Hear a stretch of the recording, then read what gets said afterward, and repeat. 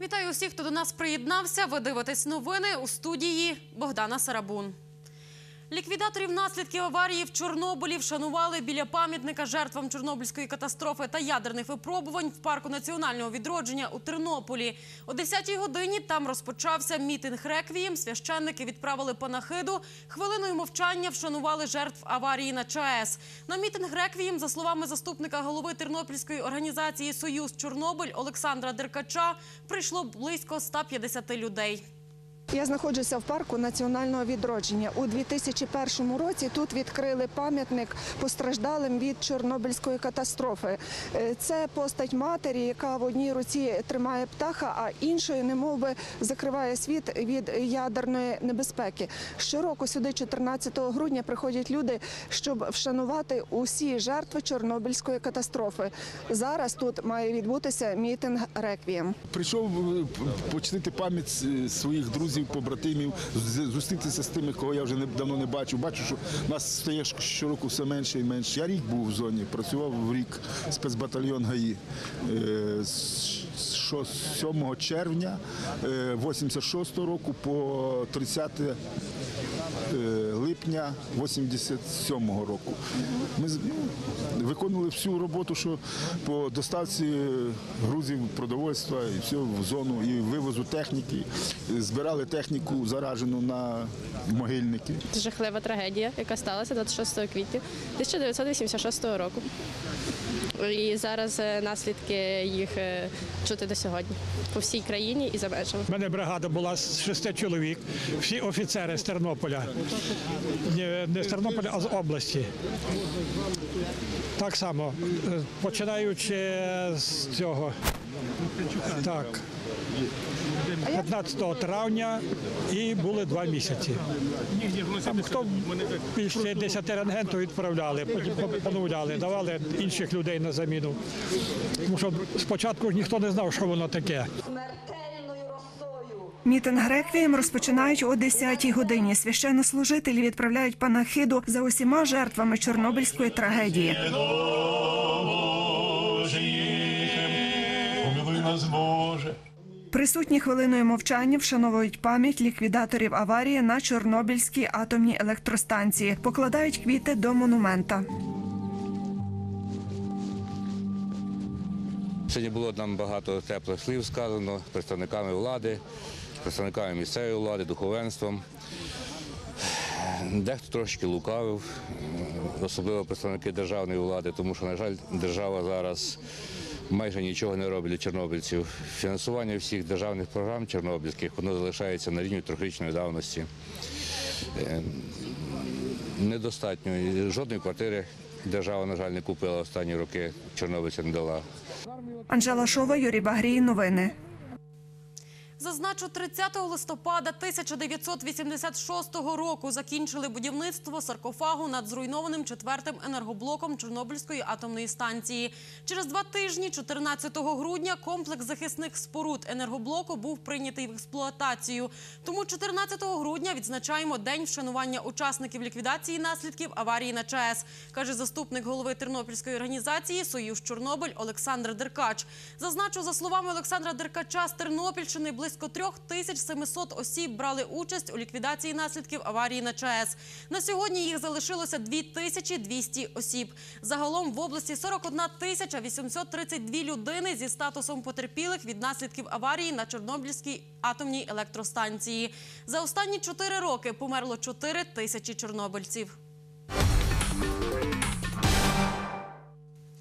Сьогодні відбулися установчі збори зі створення тернопільського підрозділу Всеукраїнської асоціації прийомних батьків на Тернопільщині. На них були присутні 30 усиновлювачів, прийомних батьків, батьків-вихователів, опікунів із Тернополя, Підволочиського, Чортківського, Борщівського, Кременецького та Шумського районів, які одноголосно проголосували за створення підрозділу асоціації в області. За словами керівника громадської організації Всеукраїнська асоціація прийомних батьків Леоніда Лебедєва, учасники асоціації зможуть отримувати безкоштовні консультації з питань опіки, допомогу при створенні прийомних сімей та дитячих будинків сімейного типу, а також брати участь у навчаннях.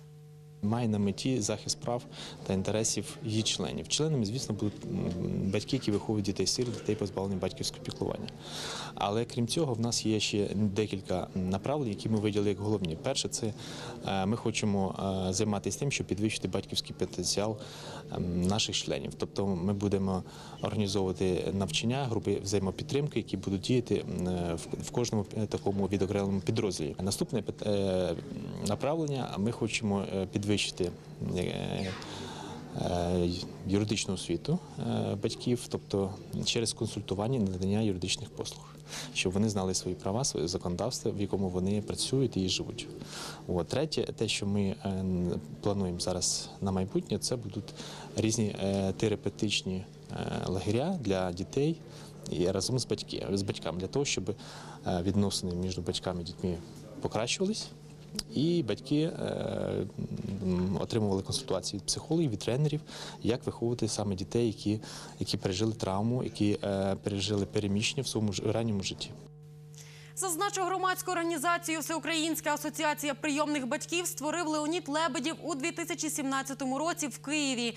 В жовтні цього року зареєстрували підрозділ у Херсоні, у листопаді в Одесі. Організація налічує 200 учасників, повідомив Леонід Лебедєв.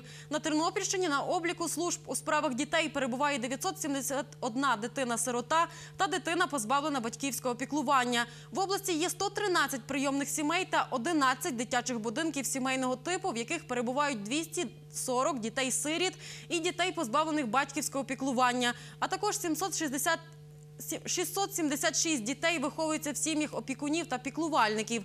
У прийомні сім'ї на виховання та спільне проживання влаштовано 9 дітей-інвалідів. У сім'ях опікунів піклувальників виховується 25 дітей з особливими потребами. За цей рік усиновили 17 дітей та 4 дитини в іноземній сім'ї, повідомив начальник служби у справах дітей Тернопільської обласної державної адміністрації Ростислав Дрозд.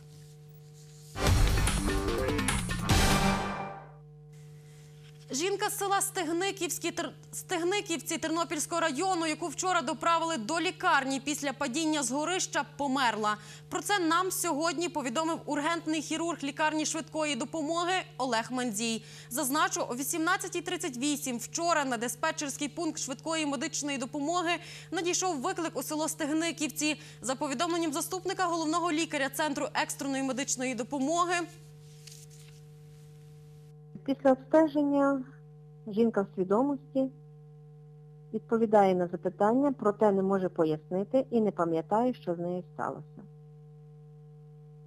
Після наданої допомоги на догоспітальному етапі жінку з діагнозом падіння з висоти, політравма, травматичний шок е, бригадою екстреної медичної допомоги доставлено відділення політравми лікарні швидкої медичної допомоги. Як повідомив ургентний хірург лікарні швидкої допомоги Тернополя Олег Мандзій, жінка потрапила у важкому стані. При поступленні стан хворий був вкрай неважкий, нестабільна гемодинаміка, нестабільні показники гемограми. Е, Було е, зрозуміло про те, що мають множинні пошкодження органів червоної порожнини і е, кісток тазу, в зв'язку з чим вона була з приймального відділення транзитом в спеціалізований операційний блок. Після короткотермінового підготовки і виконання необхідних обстежень, які в даному випадку необхідні, хворі було виконано оперативне втручання, лапаротомію, під час якого було стверджено множинні пошкодження е, кісток тазу, е, сечового міхора, несумісні, на жаль, життям. За словами Олега Мандзія, якби жінку доправили до лікарні одразу після падіння, її могли б урятувати. До того, як травмовану жінку знайшли рідні, вона пролежала на цементній підлозі майже годину.